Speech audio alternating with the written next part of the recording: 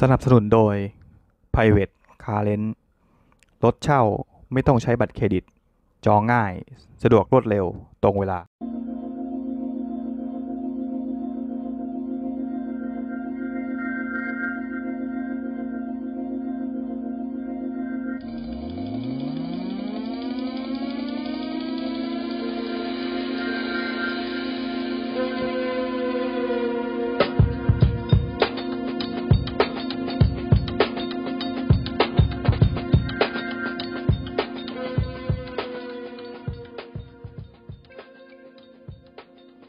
ล่าสุด บริษัท Honda Automobile ประเทศไทยจำกัด ได้เปิดตัว Honda City ใหม่โฉม Minor Change ที่มาพร้อมกับความสปอร์ตยิ่งขึ้น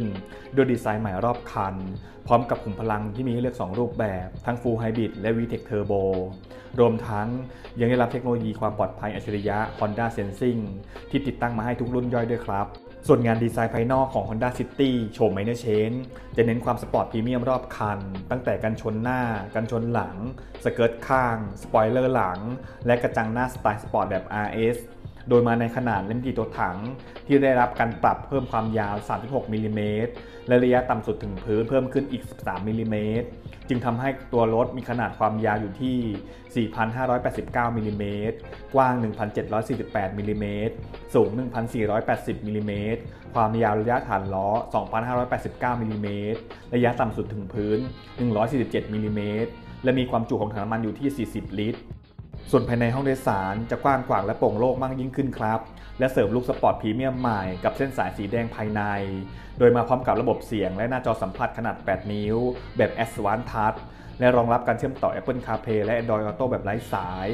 รวมถึงมากับระบบเชื่อมต่อ Honda Connect ระบบสตาร์ทเครื่องยนต์แบบอัจฉริยะ และระบบควบคุมประตูแบบอัจฉริยะเข้ามาให้อีกด้วยครับและสำหรับไฮไลท์สำคัญของความเปลี่ยนแปลงของ Honda City โฉม Main Change จะมีดังนี้ครับ สำหรับภายนอกจะตัดรุ่นย่อย 1.0 Turbo S ออกไป และเพิ่มรุ่นย่อย EHEV SV เข้ามาแทนที่ เพิ่มระบบเปิดปิดไฟหน้าอัตโนมัติทุกรุ่นย่อย เป็นกระจังหน้าดีไซน์ใหม่ เป็นกันชนหน้าและหลังดีไซน์ใหม่ เป็นล้ออัลลอยดีไซน์ใหม่ขนาด 15 และ 16 นิ้ว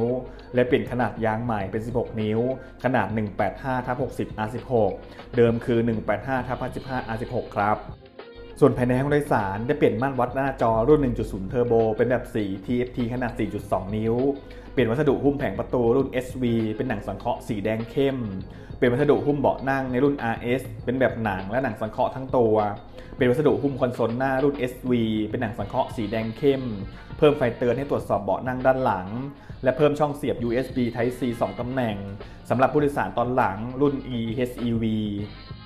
ส่วนในด้านอุปกรณ์เพิ่มความสะดวกสบาย และระบบความปลอดภัยจะมีดังนี้ครับ เพิ่มระบบล็อกรถอัตโนมัติ เมื่อกุญแจรีโมทอยู่ห่างจากตัวรถ เพิ่มระบบสตาร์ทเครื่องยนต์พร้อมเครื่องปรับอากาศด้วยกุญแจรีโมท เพิ่มระบบความปลอดภัย Honda Sensing ทุกรุ่นย่อย เพิ่มระบบปรับความเร็วตามรถคันหน้าที่ความเร็วต่ำในรุ่น eHEV เพิ่มระบบเตือนเมื่อรถคันหน้าเคลื่อนที่ ส่วนในด้านเครื่องยนต์และระบบส่งกำลังก็จะมีให้เลือก2 ขุมพลังครับ ได้แก่รุ่น 1.0 เทอร์โบ ที่มาพร้อมเครื่องยนต์เบนซิน 3 สูบ DOHC 12 วาล์วขนาด 1.0 ลิตรจ่ายเชื้อเพลิงแบบ Direct Injection ด้วยหัวฉีด multi-point พ่วงระบบอัดอากาศ พร้อมอินเตอร์คูลเลอร์แบบน้ำ และระบบแปรผันวาล์วแบบ VTEC ที่ให้กำลังสูงสุด 122 แรงม้าที่ 5,500 รอบต่อนาที แรงบิดสูงสุด 173 นิวตันเมตร ที่ 2,000 ถึง 4,500 รอบต่อนาที รองรับน้ำมันเชื้อเพลิงสูงสุด E20 จับคู่กับเกียร์อัตโนมัติ CVT ขับเคลื่อนล้อหน้า โดยมีอัตราประหยัดน้ำมันสูงสุดอยู่ที่ 23.8 กิโลเมตรต่อลิตรครับ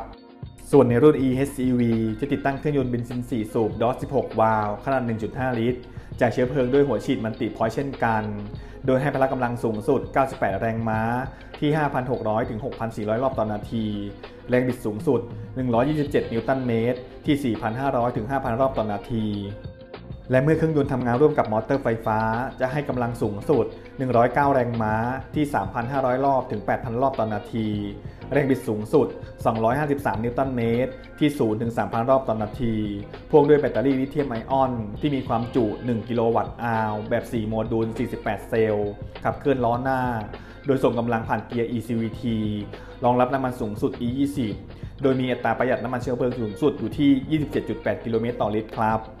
ส่วนสีตัวถังภายนอกของ Honda City โฉม m i n i Change ก็จะมีเรียกหมด 7 สีครับ ได้แก่ สีเงิน Obsidian สีแดง Ignite สีขาว Platinum สีดำ Crystal สีเงิน Luna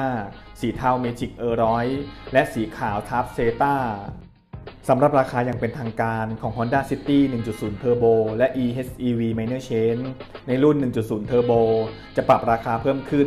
10,000-20,000 บาทครับ โดยจะมีราคาเริ่มต้นอยู่ที่ 629,000 บาท ถึง